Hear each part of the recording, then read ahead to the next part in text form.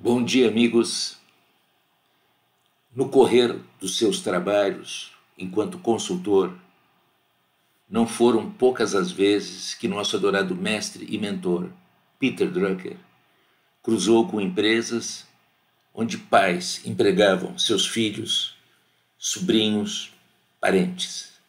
Em princípio, segundo o mestre, nada de errado, mas quase sempre em parcela expressiva das vezes, a probabilidade de não dar certo era maior do que de dar. Quando algum empresário perguntava a ele sobre o assunto, nosso adorado mestre e mentor Peter Drucker respondia o seguinte, aspas, nas empresas familiares, membros da família jamais devem trabalhar na empresa se não forem, no mínimo, tão competentes quanto qualquer outro empregado que não seja da família, e trabalhem pelo menos com o mesmo afinco. É muito mais barato pagar para um sobrinho preguiçoso não fazer nada do que mantê-lo na folha de pagamento. Fecha aspas. E é isso mesmo. Sempre só se deve contratar profissionais verdadeiramente competentes.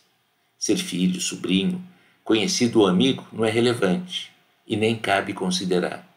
Ou é ou não competente e reúne as qualificações adequadas para cargos e funções específicas.